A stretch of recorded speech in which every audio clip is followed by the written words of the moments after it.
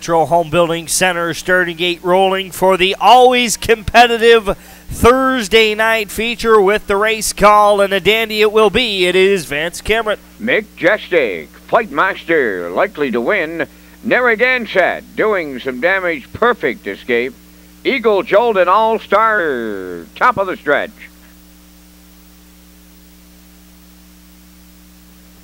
Here they come. And away they go. Off end pacing, likely to win, doing some damage, and Majestic firing up the rail. That trio into the turn, vying for the lead. Fourth up the rail is Fight Master away fifth. Perfect escape. They're to it, not it, not it, and to it on the front end. And on the outside, doing some damage will clear the lead for Corey McPherson. Majestic left hard. He's in the two hole. Lead two win. Took his seat third. Fight Master fourth. Perfect escape fifth. Then it's Narragansett. Followed then in six. Eagle Jolt seventh. And the trailer, All Star Sealster. Boom! Just like that. 27 3. Big Turner. Down the stretch they come. The half up next doing some damage to Fraction Center. Majestic second, likely to win, continuing third. Fourth up the rail, Fight Master. There goes Perfect Escape on the outside, fifth.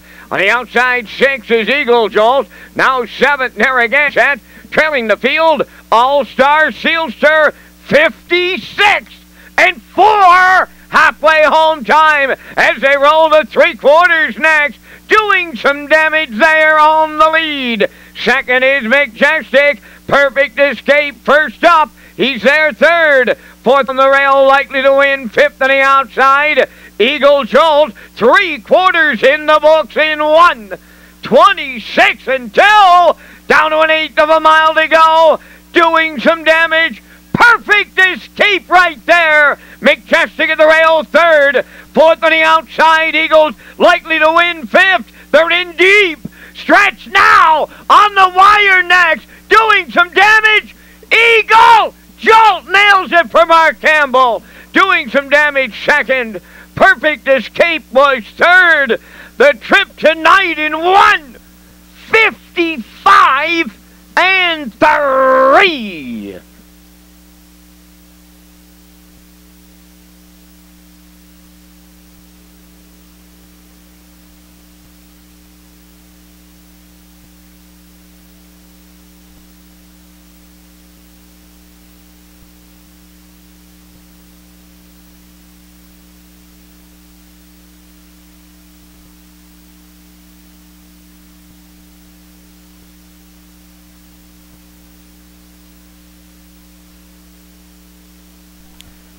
Well, it's a little bit of trip reversal here tonight for Eagle Jolt. Doing some damage goes to front for Corey McPherson. He's stung 27 3, 56 and 4. Majestic gets a pocket ride. This week, it's Perfect Escape who supplies the cover to Eagle Jolt, and he kicks in as Campbell asks him for more down the lane. He delivers, and he's going to deliver at a good price. Shouldn't have let the price scare me off, but it did here tonight, and the old boy makes them pay. Eagle Jolt with a veteran victory in 155 and 3.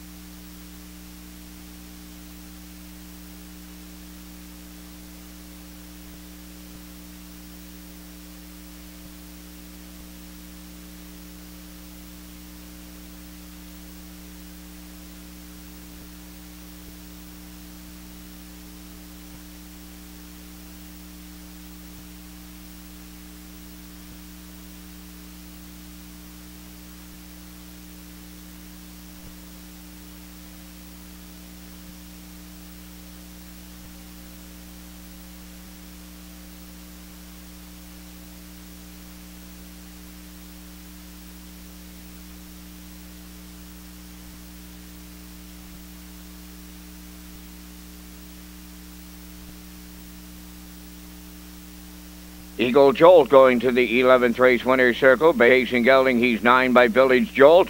from the Jate Lobell Dam Jazzy Jam. Owned by Wilbur and Marie McDonald of Orwell Cove. Mark Campbell training and driving. Mark has his second driving win tonight for the double. Good trip on the veteran pacer. 155 and three fifths. Eagle Jolt in the 11th.